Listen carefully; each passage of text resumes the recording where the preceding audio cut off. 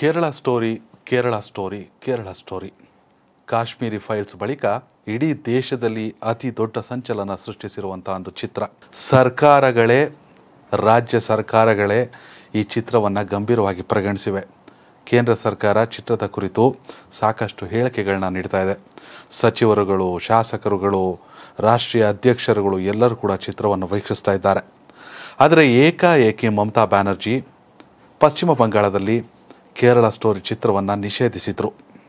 ಮಮತಾ ಬ್ಯಾನರ್ಜಿಯ ನಿರ್ಧಾರ ಇದೀಗ ಇಡೀ ದೇಶದಲ್ಲಿ ಸಂಚಲನವನ್ನು ಸೃಷ್ಟಿಸಿದೆ. ಒಂದು ಕಡೆ ಕಾಂಗ್ರೆಸ್ ಮತ್ತು ವಿರೋಧ ಪಕ್ಷದವರು ಕೇರಳ ಸ್ಟೋರಿಯನ್ನು ನಿರ್ಲಕ್ಷಿಸ್ತಾ ಇದ್ದಾರೆ. ಕಾರಣ ಅದು ಅದು ಬೇರೆ ಪಕ್ಷಗಳ ಸಿದ್ಧಾಂತಕ್ಕೆ ಹತ್ತಿರವಾಗಿದೆ ಅಂತ.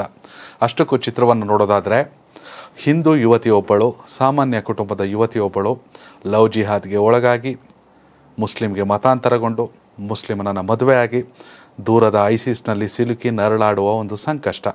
ಸಂಕಷ್ಟದ ಕತೆ, ಹಲವು ಸತ್ಯ ಘಟನೆಗಳನ್ನು ಆಧರಿಸಿ ಚಿತ್ರವನ್ನು ತೆಗೆಯಲಾಗಿದೆ ಕೇರಳದಲ್ಲಿ, ಮಲಯಾಳದಲ್ಲಿ.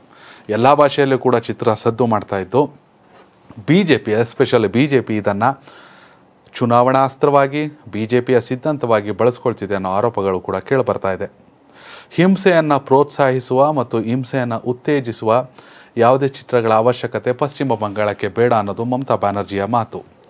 ಆದರೆ ಅವರಿಗೆ ಸೆಡ್ಡು ಹೊಡೆದಿರುವಂಥ ಯು ಪಿ ಮುಖ್ಯಮಂತ್ರಿ ಯೋಗಿ ಆದಿತ್ಯನಾಥ್ ಚಿತ್ರಕ್ಕೆ ತೆರಿಗೆ ವಿನಾಯಿತಿಯನ್ನು ನೀಡಿದ್ದಾರೆ. ಈ ಹಿಂದೆ ಸರ್ಜಿಕಲ್ ಸ್ಟ್ರೈಕನ್ನು ಕೇಂದ್ರ ಸರ್ಕಾರ ಯಾವ ರೀತಿ ಬಳಸ್ಕೊಳ್ತು, ಆ ನಂತರದಲ್ಲಿ ಕಾಶ್ಮೀರಿ ಫೈಲ್ಸನ್ನು ಯಾವ ರೀತಿ ಬಳಸ್ಕೊಳ್ತು, ಇದೀಗ ದಿ ಕೇರಳ ಸ್ಟೋರಿಯನ್ನು ಕೂಡ ಕೇಂದ್ರ ಸರ್ಕಾರ, ಜೊತೆಗೆ ಇದೀಗ ಯು ಪಿ ಸರ್ಕಾರ ತೆರಿಗೆ ವಿನಾಯಿತಿ ಮಾಡಿ ಯು ಪಿ ಸರ್ಕಾರ ಯೋಗಿ ಆದಿತ್ಯನಾಥ್ ತೆರಿಗೆ ವಿನಾಯಿತಿಯನ್ನು ಮಾಡಿ ಸೆಡ್ ಹೊಡೆದಿದ್ದಾರೆ ದೀದಿಗೆ, ಅಂದರೆ ಮಮತಾ ಬ್ಯಾನರ್ಜಿಗೆ.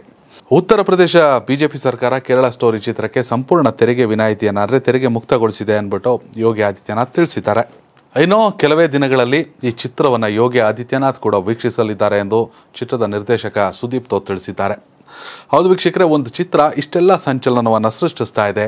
ಬಲಂತ ಬಲವಂತವಾಗಿ ಮುಸ್ಲಿಮ ಧರ್ಮಕ್ಕೆ ಮತಾಂತರ ಮಾಡೋದು, ನಂತರ ಅವರನ್ನು ಉಗ್ರಗಾಮಿ ಚಟುವಟಿಕೆಯಲ್ಲಿ ಬಳಸ್ಕೊಳ್ಳೋದು, ಅದರಲ್ಲೂ ದೇಶದ ಹೆಣ್ಣು ಮಕ್ಕಳನ್ನು ಟಾರ್ಗೆಟ್ ಮಾಡಿರೋದು ಚಿತ್ರದ ಸ್ಟೋರಿ ಇದು. ಇದೀಗ ರಾಜಕೀಯ ಬಿರುಗಾಳಿಯನ್ನು ಎಬ್ಬಿಸಿದೆ. ಸಾಕಷ್ಟು ರಾಜ್ಯಗಳು ಈ ಕೇರಳ ಸ್ಟೋರಿ ವಿಚಾರದಲ್ಲಿ ತಮ್ಮ ತಮ್ಮ ನಿರ್ಧಾರಗಳನ್ನು ತೆಗೆದುಕೊಳ್ತಾ ಇದ್ದಾರೆ. ಮಮತಾ ಬ್ಯಾನರ್ಜಿ ಚಿತ್ರವನ್ನು ವೆಸ್ಟ್ ಬೆಂಗಾಲ್ನಲ್ಲಿ ನಿಷೇಧಿಸಿದ್ದಾರೆ. ಆದರೆ U P C M Yogi Adityanath ಚಿತ್ರಕ್ಕೆ ತೆರಿಗೆ ವಿನಾಯಿತಿಯನ್ನು ನೀಡಿದ್ದಾರೆ. ತೆರಿಗೆಯನ್ನು ಸಂಪೂರ್ಣವಾಗಿ ವಿನಾಯಿತಿ ನೀಡಿದ್ದಾರೆ. ಇಂತಹ ಪ್ರಯೋಗಾತ್ಮಕ ಚಿತ್ರಗಳು ನಿಜಕ್ಕೂ ಅವಶ್ಯಕತೆ. ಆದರೆ ದೇಶದ ಧರ್ಮ ಧರ್ಮಗಳ ನಡುವೆ, ಧರ್ಮ ಧರ್ಮಗಳ ನಡುವೆ, ಕೋಮಿನ ನಡುವೆ ಒಂದು ರೀತಿಯ ಸಂಘರ್ಷಕ್ಕೆ ಕಾರಣ ಆಗುವಂಥ ಚಿತ್ರಗಳ ಅವಶ್ಯಕತೆ ಇದೆಯಾ? ಅಥವಾ ಏನೊಂದು ನಿಜಕ್ಕೂ ಕೂಡ ಐಸಿಸ್ ಮಾಡ್ತಿರುವಂಥ ಇಂಥ ಕೆಟ್ಟ ಚಟುವಟಿಕೆಗಳನ್ನ ಹೊರತರರ ಅವಶ್ಯಕತೆ ಇದೆಯಾ? ನಿಮ್ಮ ಅಭಿಪ್ರಾಯ ಏನು ಅನ್ನೋದನ್ನು ಕಾಮೆಂಟ್ ಮಾಡಿ. ಧನ್ಯವಾದಗಳು.